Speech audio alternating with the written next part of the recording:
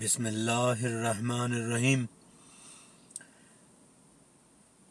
بیا یو ځل ټول ته السلام علیکم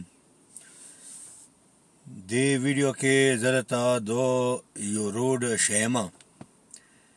چې د دې نوم ده بیګټ سټریټ د برمنګم بی 6 دو پوز کوډ دی خو بس په برمنګم سیټي سنټر کې لکه دو شامل دی دو روډ نو هسې د برمنګم سیټي سنټر پوز کوډ چې کوم دینو لکه د بدالو بدالو پوز کوډونو هغه تر رسیدلی دي بونډرې نو په دې واجه باندې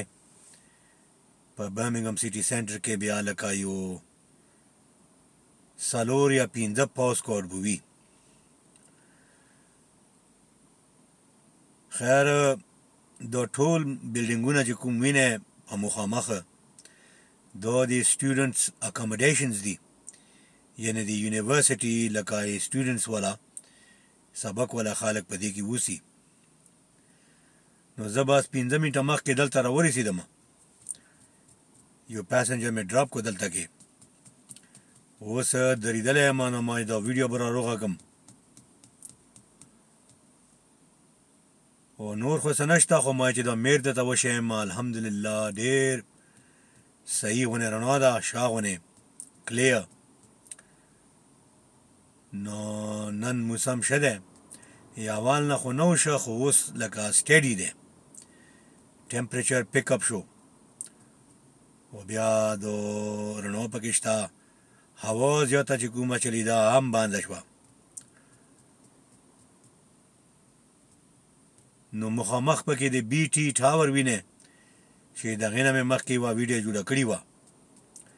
دا څه په داسې 1960s کې چې ته په واخ منې جوړ کړی دی د برټش ټیلیکام والا اوس هم ما خیال دی په استعمال کې په یوز کې دی خو داسې خو د نورو کمپنیو د سټلایټ انټینا او دا ډیشونه میشونه وغیره دا خو ځای په ځای دي اوس نن سبا خو هغه موده کې له کاظم کنې داسې خاص دا خبرې نه وې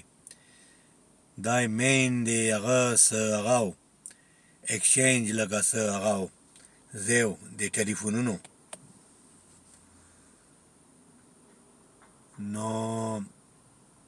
دا د ایسټن یونیورسټي و د باره یوه بله یونیورسټي ده برمنګم برمنګم سیټي ما خیال نامه ده په کرزن سټریټ باندې نو په دې ایریا کې د دې دواړو یونیورسيټي د سټوډنټس وسی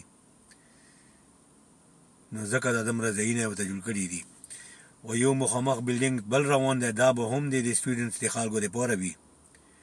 ځکه چې په برمنګهم کې د سټیرنټس انډسټري ډیره تیزه ده نور خو په دې ویډیو کې څه نشته ده خیر خیریات ته الحمدلله و د رب العالمین نه بخیر غواړم د ټولو لپاره نو موږ په دواګانو کې هم یاد ساتي دا ویډیو به زم کنه اوس باندې کوم ان شاء الله کبیا چانس وی او ژوند وی نو خبرې به بل بلې ویډیو کې بیا بیا وی اور اوس ته پر السلام علیکم